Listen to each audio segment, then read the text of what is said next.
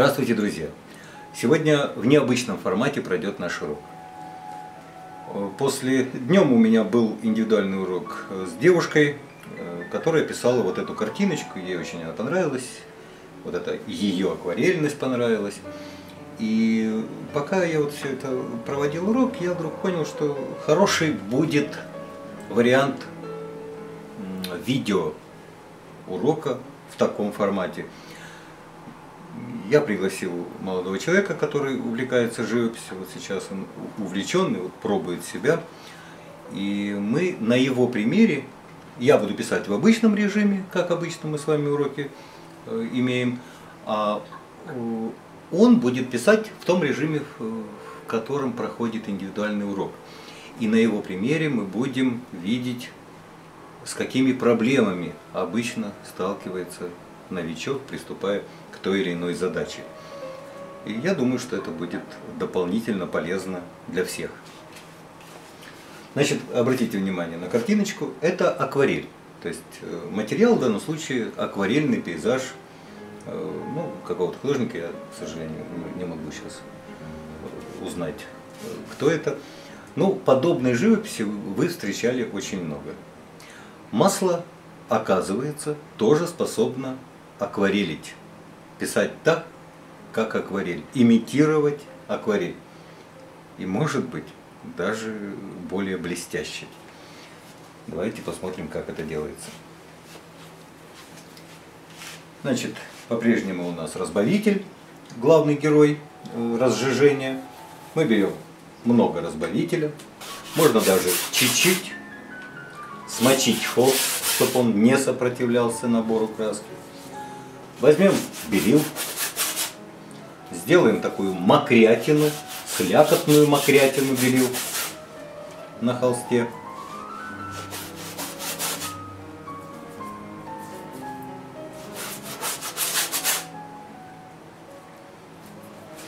Мы начинаем, как всегда, э, с заднего,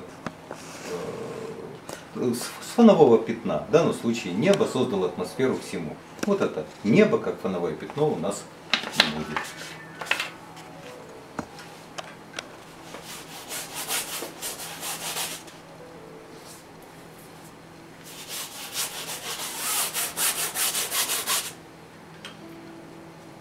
Вы видите, это не робкое закрашивание. То есть, вы видите, э, кистью можно двигаться в обе стороны. Не обязательно вот это покрашивание, а наоборот, даже разогнаться процессе укладки краски буквально разогнаться, чтобы войти в кураж исполнительский.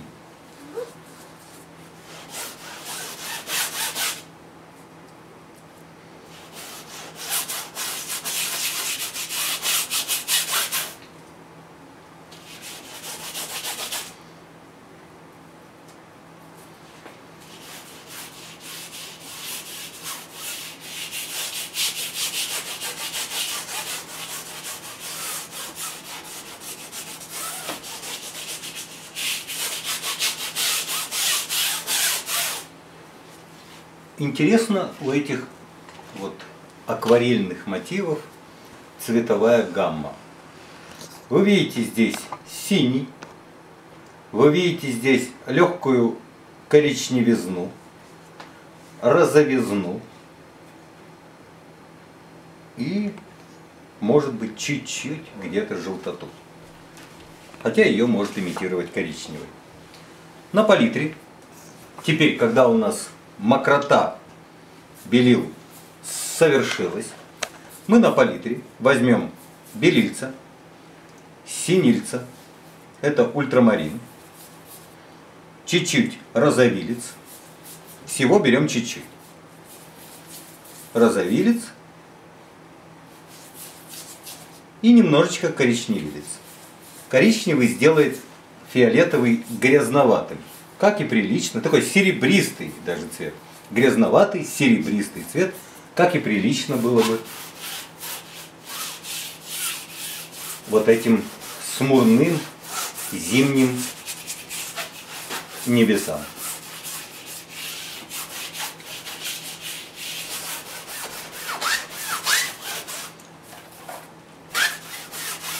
Смотрите, совершенно нахальное закрашивание. То есть меня в данном случае укладка краски кистью вообще не беспокоит. Мне нужно поскорее избавиться от белого и воспользоваться вот этой слякотной краской, пока она не стала.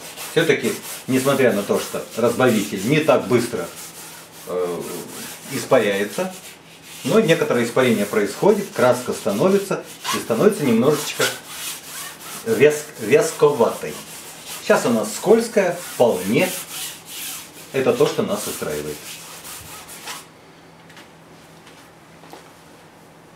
Теперь я возьму тряпочку, сделаю из нее некий рабочий инструмент. Мы уже этот трюк видели, то есть вот некая подушечка, фигушка э, тряпки. Тряпкой распределительно, не вытирая с холста краску, а только распределительно. Мы совершим укладку краски, которая лежала грубо. Теперь она будет лежать деликатно, аккуратно.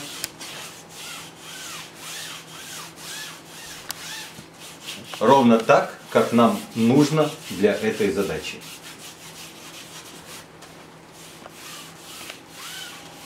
часть краски, тряпочка все-таки, себя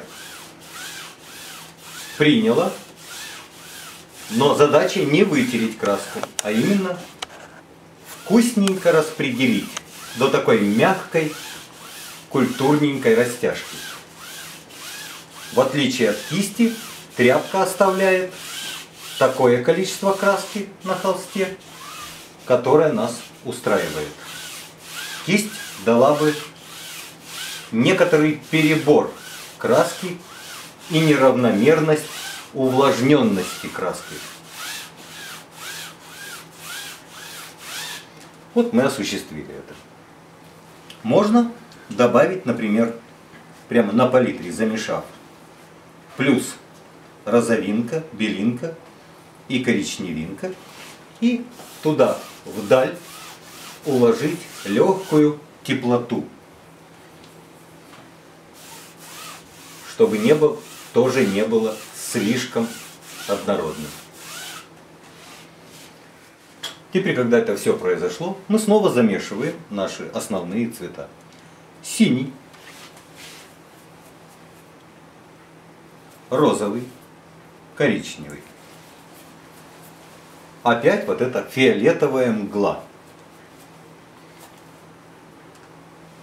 Синий плюс коричневый без розового будет слегка зеленоватая мгла. Этими цветиками мы видим, что ровно посередине проходит тоновое, ну, тоновая темность. Прямо посередине ее и уложим. Где в пользу коричневого, уложим в пользу коричневого.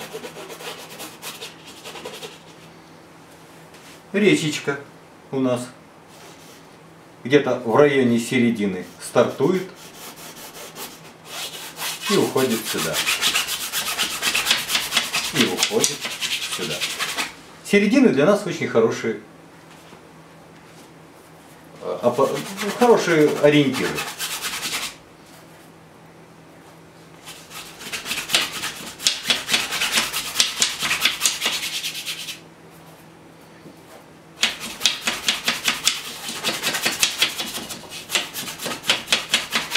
Теперь, когда мы набросили главные тоновые пятна, мы начинаем работать пальцем.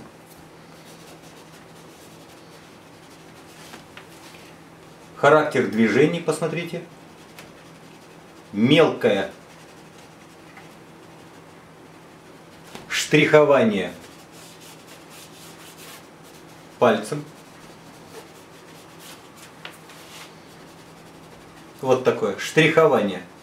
Посмотрите, сразу появляется идея торчащих вдали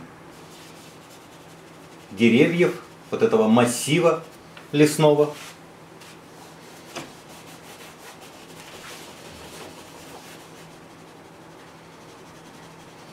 И акварельность укладки краски. Появляется вот эта вкусная акварельность.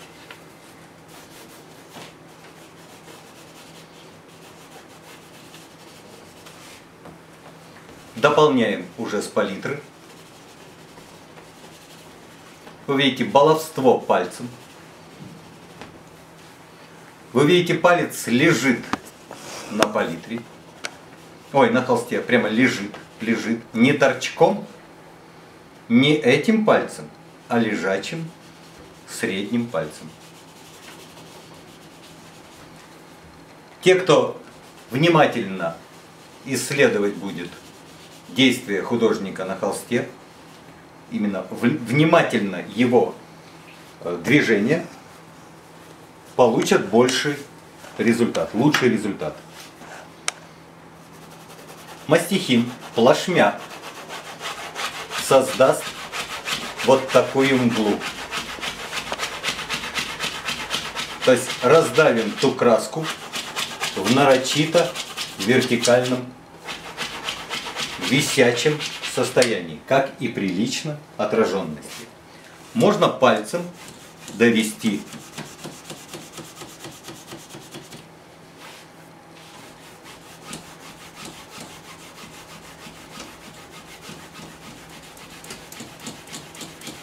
довести до еще более мутного, мглистого состояния.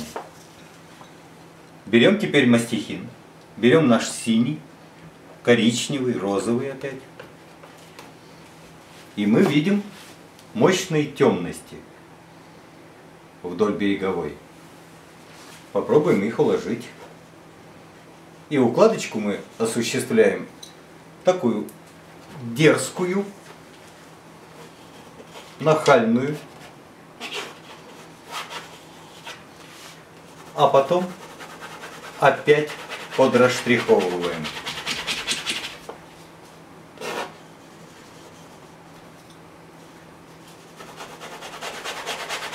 Вы видите, даже сам характер общения акварельный, да?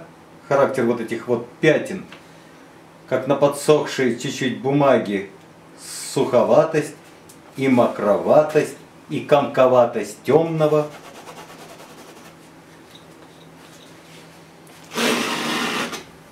Мастихином можно создать вернее, э, немножко освободить от лишней краски.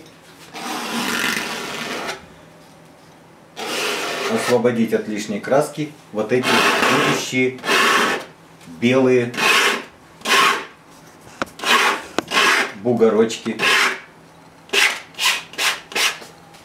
которые лежат под снегом, которые ждут более белого.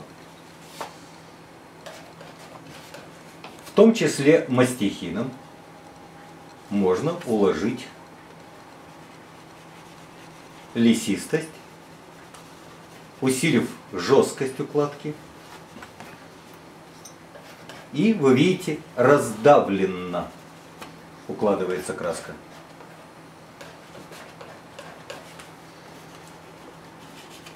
Где-то здесь, может быть, прозвучал розовый, а где-то в другом месте прозвучит более зеленоватый по своему настроению замес синего с коричневым.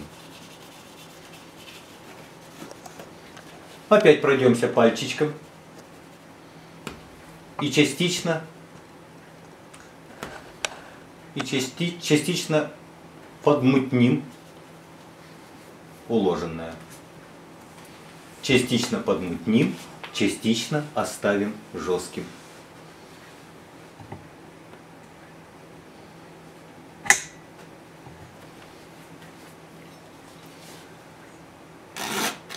Где-то там в лесочечек прозрачненько могут уходить бугорочки еще одни.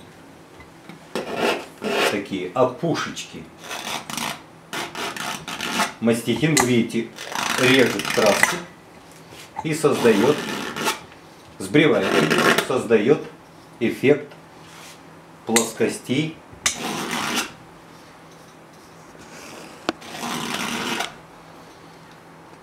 Еще один, еще одна формула держания мастихина.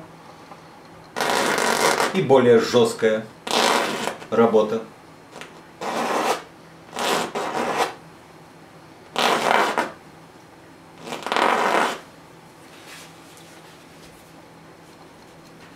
Дальний лесок пусть будет откровенно синеньким.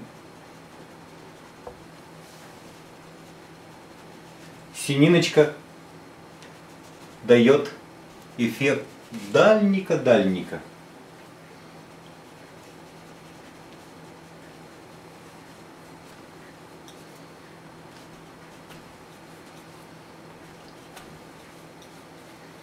Вы видите, насколько акварелен характер укладки –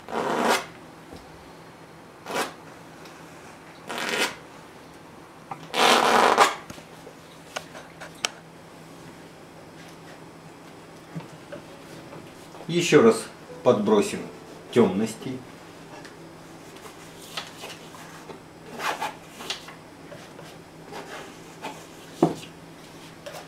Вдоль береговой. Вы, вы ее видите. Видите здесь.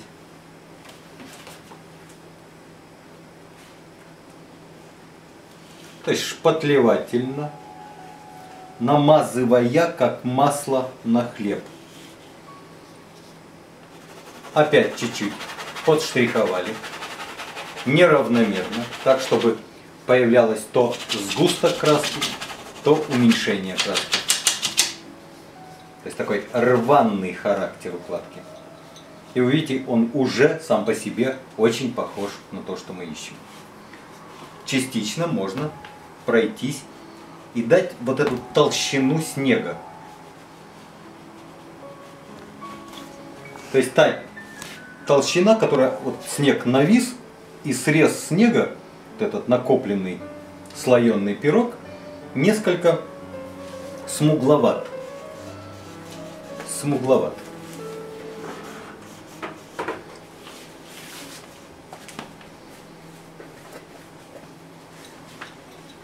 Теперь возьмем белильца, но возьмем их с темнильцами. Вот эти наши основные темнильца – грязный сиреневатый цвет. Мы его замешаем. Для того, чтобы положить первые звуки снега. Снега уже более плотного, не такого призрачного. Мастихин двигается, раздавливая перед собой краску. И еще и повторно придавливает. И повторно придавливает.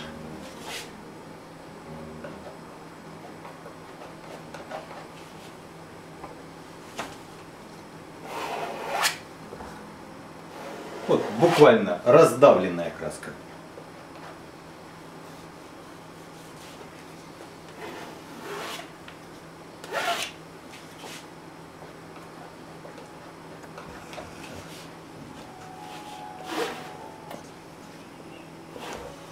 Что важно здесь соблюсти, так это характер плоскости, которая вот здесь совершила падение. То есть она бугорочком, шляпкой двигалась и здесь закрутилась, загнулась упала.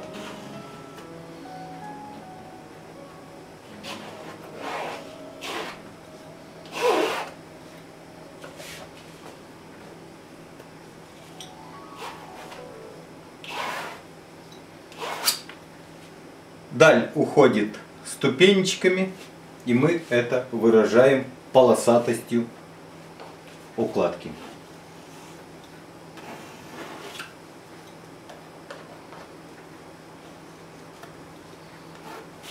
Раздавливаю и постоянно пользуюсь тряпкой.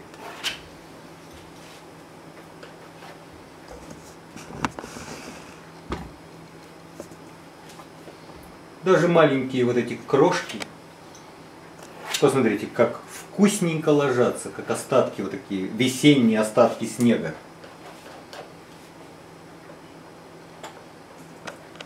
Помните, что пока мы укладываем слегка смуглый снег.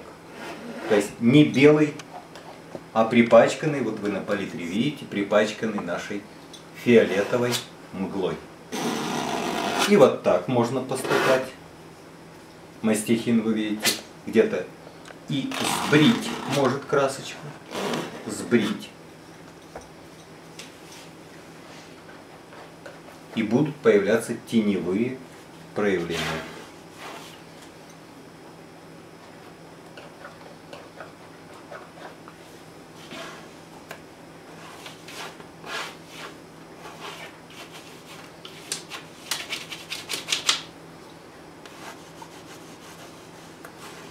раздавливаю, раздавливаю.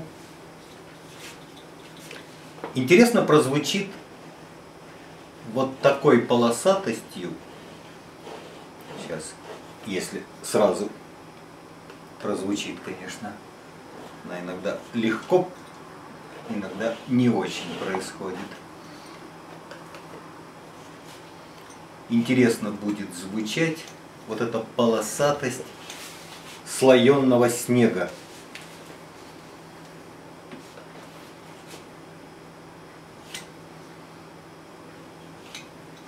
Вы видите прямо эффект вот этого снежного пирога происходит.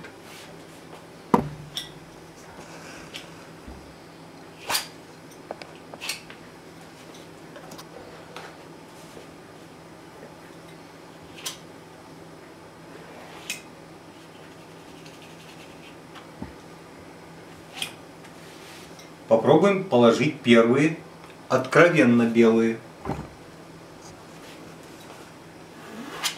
Вы видите, как по-особенному лег уже откровенно белый на этот неоткровенный белый. И все время раздавливаем.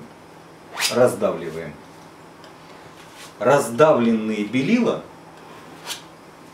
и вообще раздавленная краска несколько выглядит как как незакрашенная бумага, эффект незакрашенной мелованной бумаги. От этого оно особенно акварельно звучит.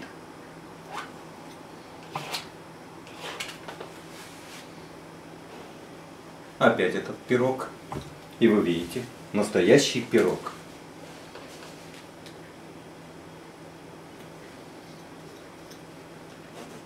Том числе можно дать и отраженности.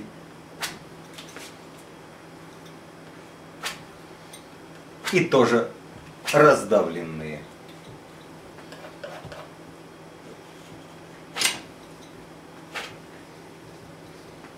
Эффект стекла, стеклянности воды –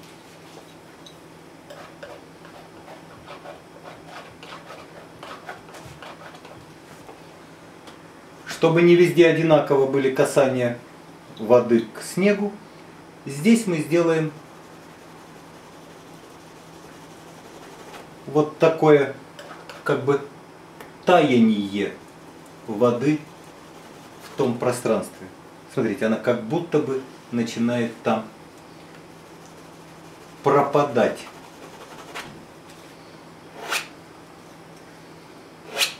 Это тоже очень акварельное ощущение. И увидите, как оно здорово прозвучало на фоне жестких, жестких краев переднего плана. То есть там водичечка практически смешалась, смешалась по своей тональности со снегом.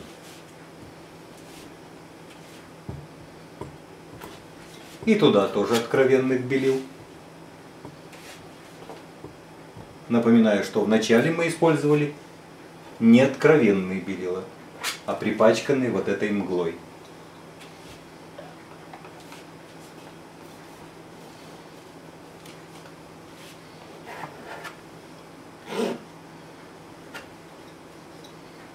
Деревца заслонили, которые вот здесь вот столпились, допустим, под воздействием штриха ребром мастихина заслонили вот ту проталинку, которая за ними.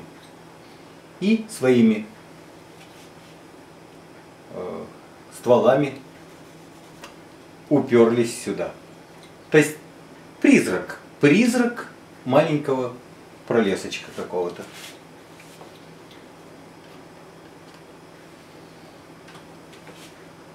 Помним, что у нас есть возможность рисовать и пальцем. И вы видите, какие забавные штуки палец вытворяет. Вдали снег практически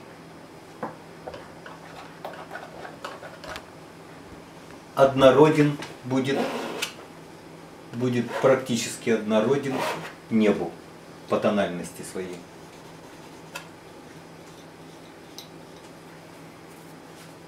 И почти тает даль. Это тоже красивый ход. Так же, как вот здесь растаяла вода, так там растаяло звучание контрастов.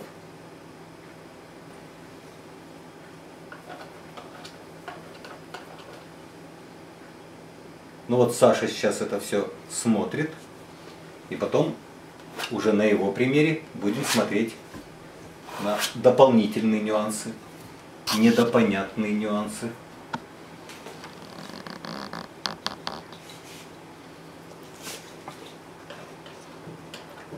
Еще раз попробуем вот этот трюк. То есть ребро мастихина создало идею деревцев которые заслоняют задник.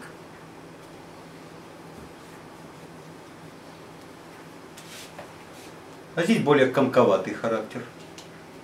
Комковатый. Характер лесочечка.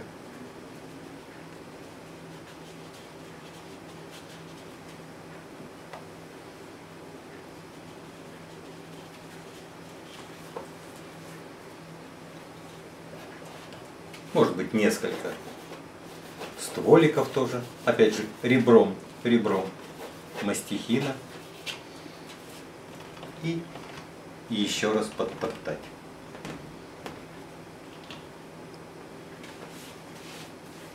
Вы видите, акварельнейший характер.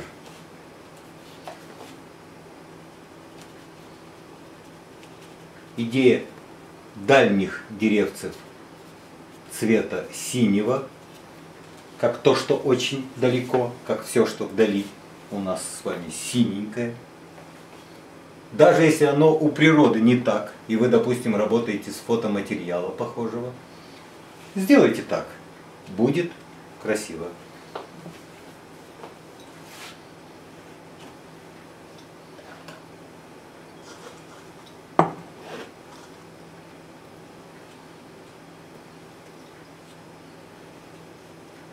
Вот он,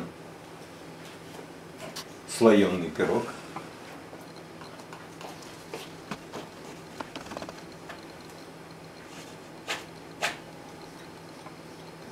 Вот они отражения.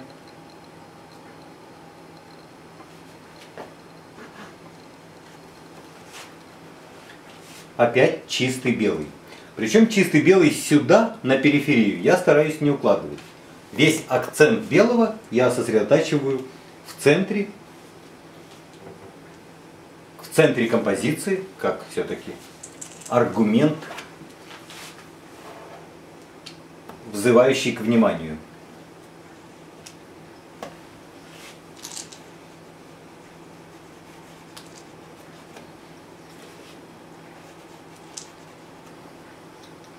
Вы видите вот этот характер укладки, насколько создает снежную идею, насколько выражает ее. Опять же, шапка, подобные укладки снега.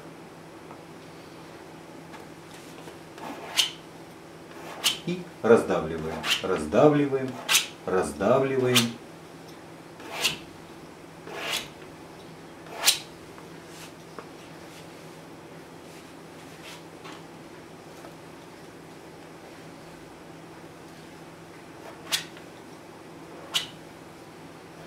Вы видите, стараюсь неравномерный делать ход мысли. То есть нет такого сту слишком ступенчатого характера. То есть мигающий характер ступеней.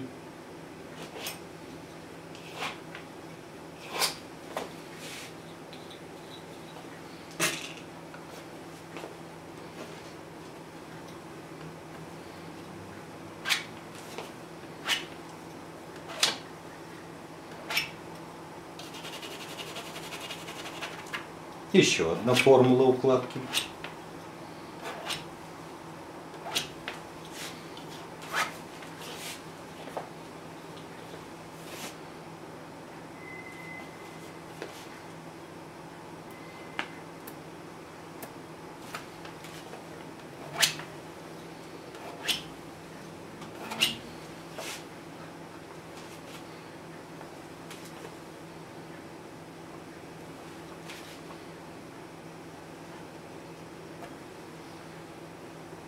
А, какой, какой прикольный узел произошел.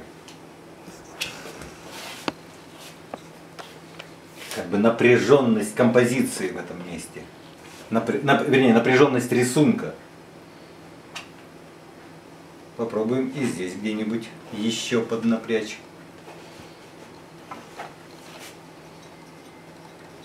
Причем, видите, я только уголочечки чуть-чуть трону. Как уместно акцентно положить.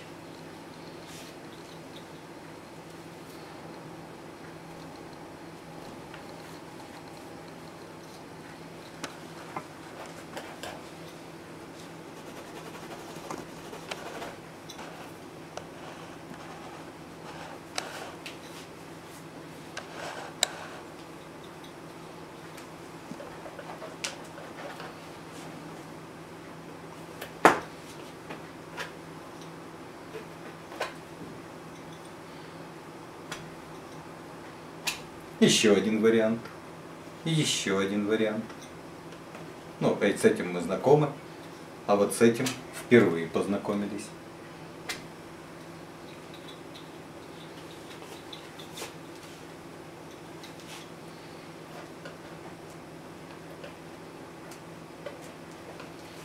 Может быть, чуть-чуть более напряженную ситуацию создадим и у лесочка.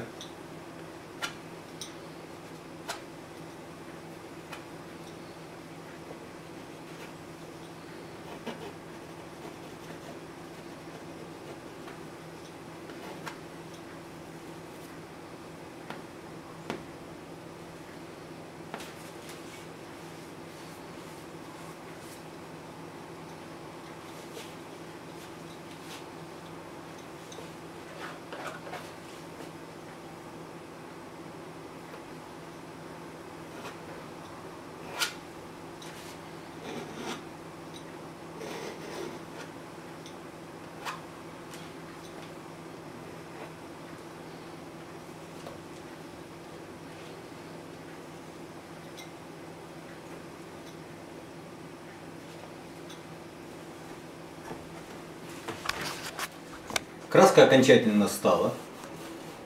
Прошло где-то минут 30. И мы можем сделать совсем мутным небо. Мутным, вот таким рассеянным, и красочку буквально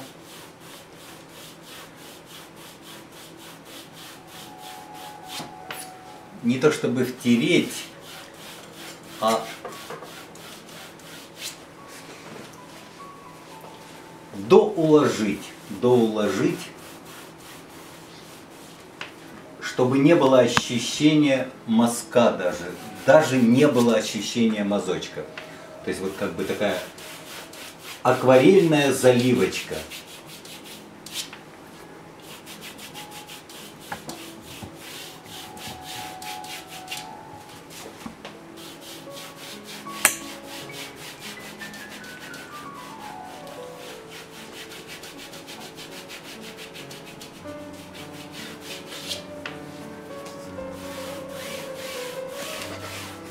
Вы видите, практически э, заливочкой она и выглядит. Вот кто знаком с темой акварели, согласится со мной. Еще один цветик задействуем, это бирюзовенькую. Она совершенно нечаянно прозвучит в этой картине. Вот здесь у нас розоватая даль, а здесь мы чуть-чуть подсадим этот разбел, разбел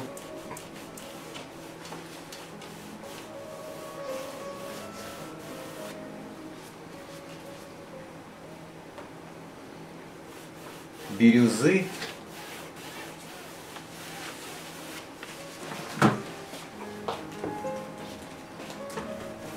Прямо малую меру краски уштриховываю, уштриховываю в тишину неба.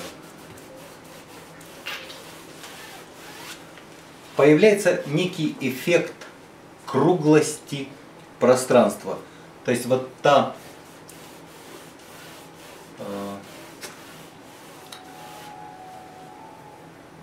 воздух насыщен влагой, и эта влага как бы клубится неким туманом. И вот эта светлость, она как бы создает эффект закругленного. Что усиливает стремление взгляда туда, вдаль, и увеличивает эффект телометраж в пространстве.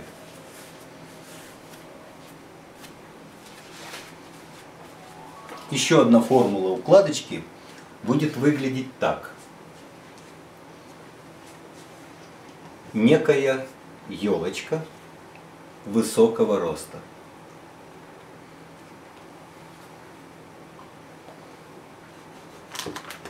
Можно сначала пальцем,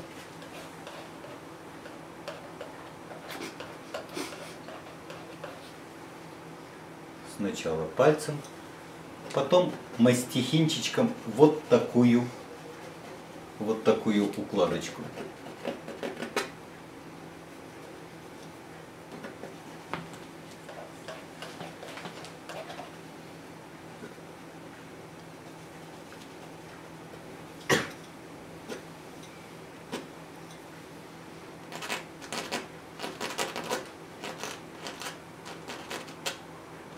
снежок на ней чуть-чуть. И вот этот зигзаг, зигзаг ее веточек.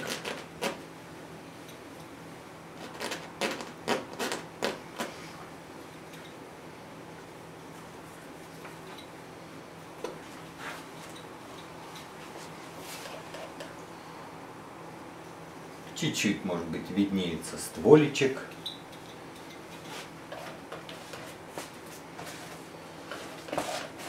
И, наконец, на переднем плане тоже елочки, тоже зигзагом, зигзагом, вот таким.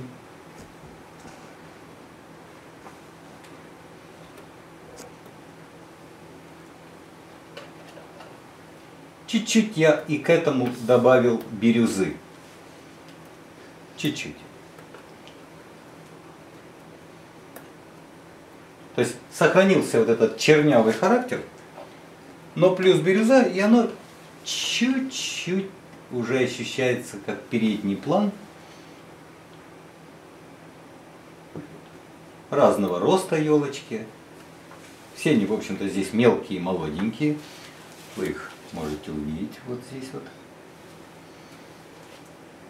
Немножко корявенький, как прилично, елочкам. На разных уровнях.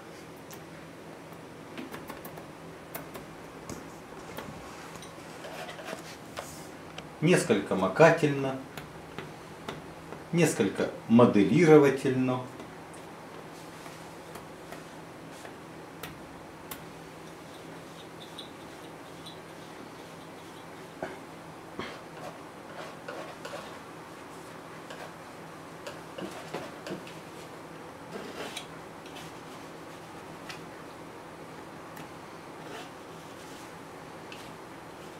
Дальше те же елочки смотрятся просто пятнами.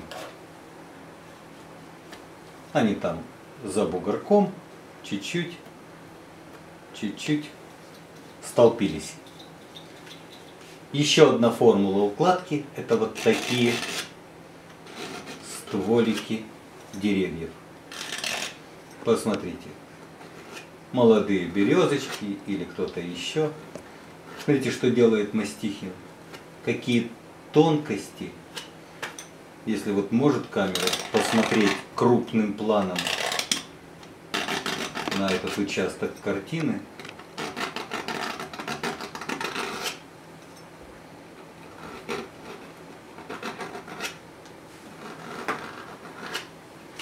прямо заставить мастихин сделать выгодную выгодную царапку.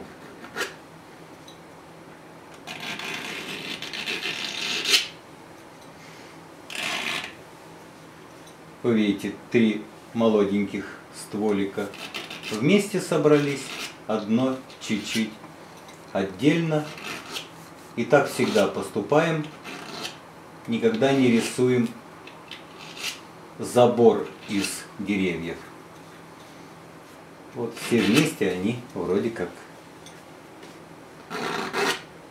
разнообразны и в то же время цельно звучат.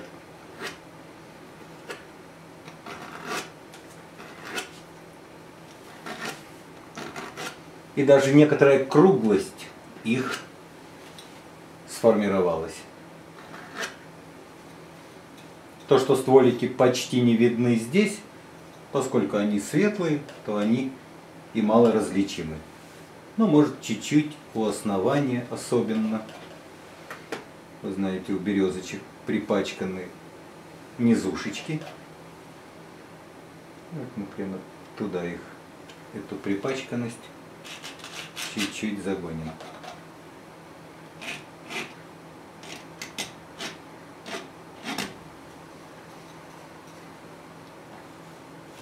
И бугорочек покажем. То есть я их соединил то ли тенью, то ли ямочкой с землей. То есть они не висят у меня. Может даже еще какую-нибудь коряжечку подсунем. То ли коряжка, то ли травка осталась там видна, то ли сгусток веточек –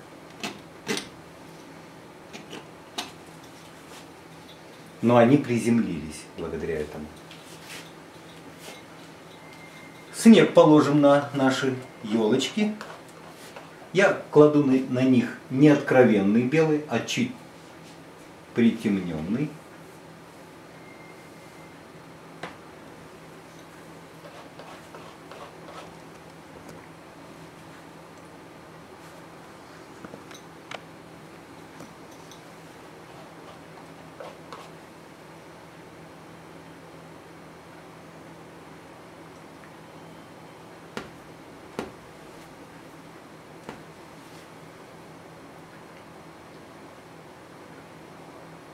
Буквально густой красочкой инкрустирую.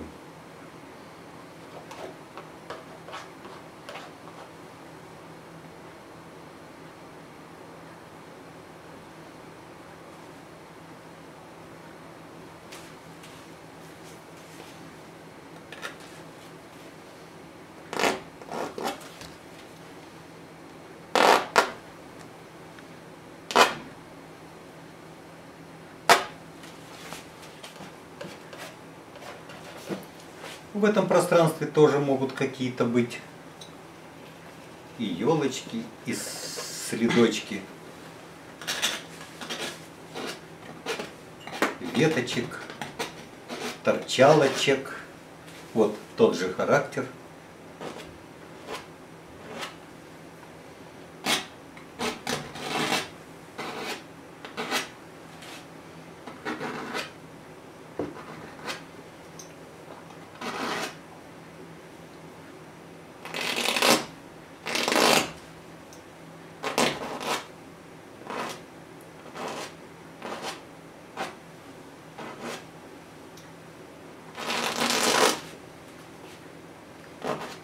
Вы видите, как это все акварельно звучит.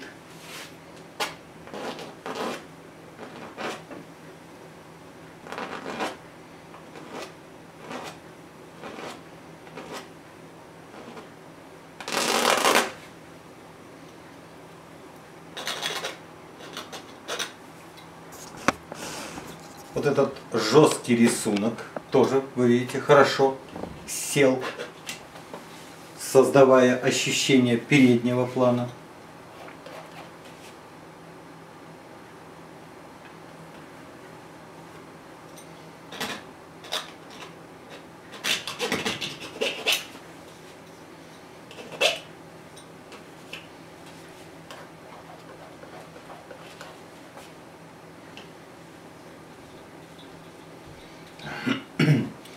Все, буквально все движения очень сильно имитируют акварель. И я думаю, вы согласны с этим. Даже вот эти черноты, даже вот эти царапки.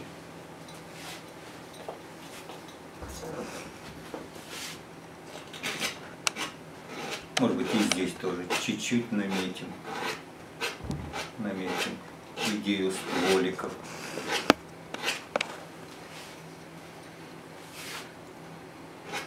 Тоже хорошо становится.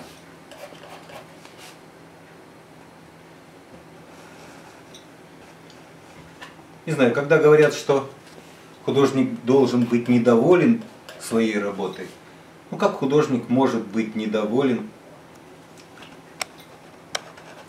общением, вот, допустим, э, с таким пейзажем?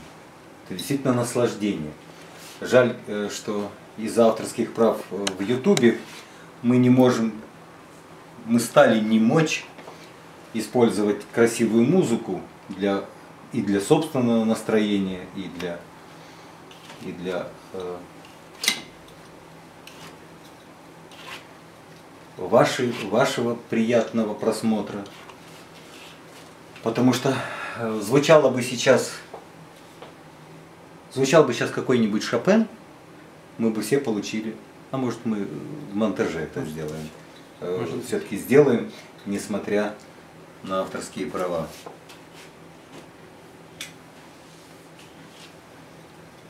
Плюнем, так сказать.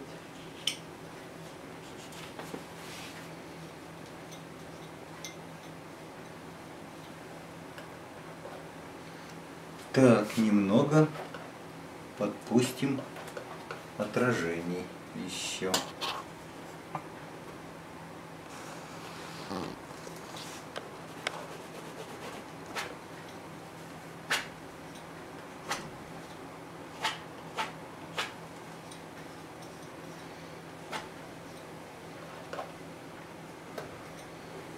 Я наблюдаю, не получилось ли чего красивого, пока я совершаю эти вещи. И если получилось, то можно вполне насытиться. И не обязательно добиваться какой-то странной цели. Просто красиво и хорошо.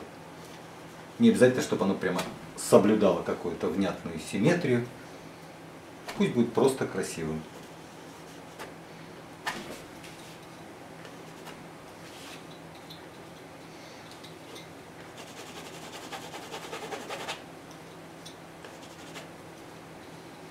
Еще один способ укладки мы сейчас увидим. Это вот такое поглаживание.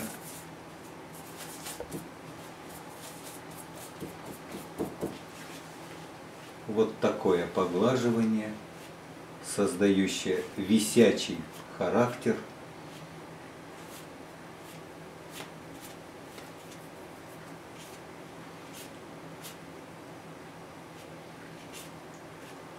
Тоже, видите, я моделировательно это делаю.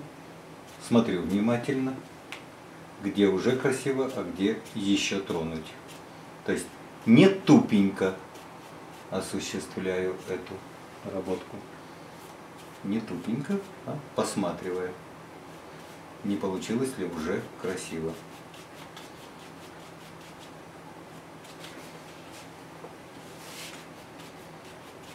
Отражение в стоячей воде очень поэтично выглядят при такой укладке и поэтично, и в данном случае, что важно, акварельно. Вот здесь мы с вами сейчас создаем идейку то ли ледового покрытия, то есть уже первый ледок формируется, или вечерний ледок формируется. Плюс этот же лед – чуть-чуть проявит себя.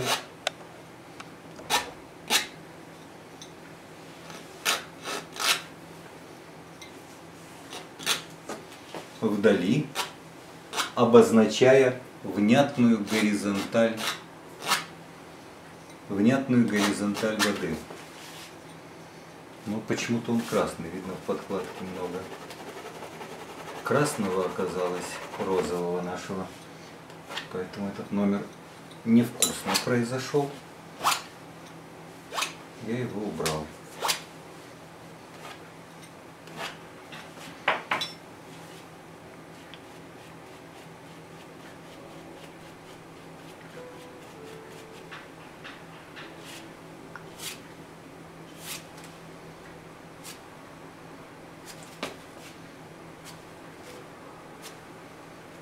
Нарочито горизонтально.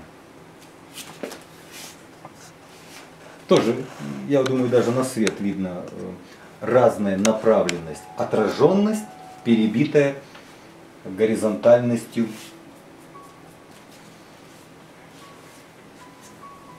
плоскости воды. Ну вот так сверху тогда накинем эти ледочки.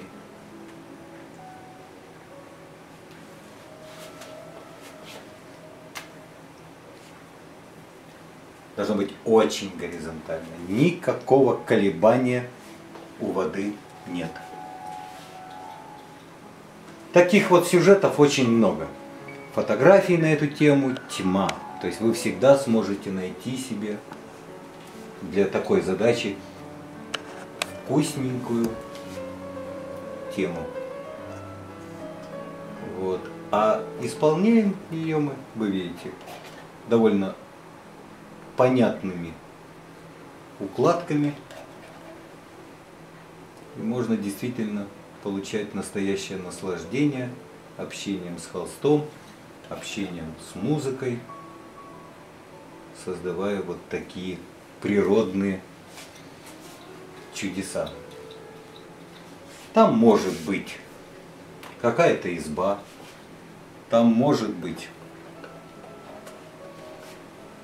Например, крыша какого-нибудь сооружения, несколько крыш, домиков или маковочка храма.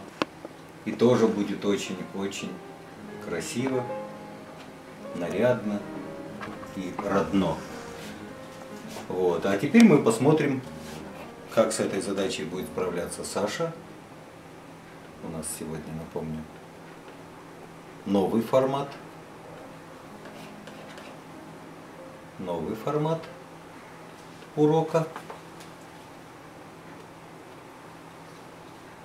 То есть э, Саша, э, сейчас камера нам покажет его, э, совсем недавно занимается живописью, и он будет совершать те ошибки, которые, вероятно, будете совершать и вы.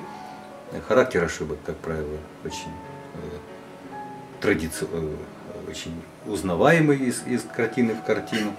Вот. И мы будем смотреть, что вы гипотетически можете сделать неправильно на его примере. Вот. Ну, парень талантливый, но ошибки все равно вынужден совершать. Поэтому давай, Саша, ну, видите, он уже нос себе немножко накрасил синим. Ну, сейчас из картины разберется.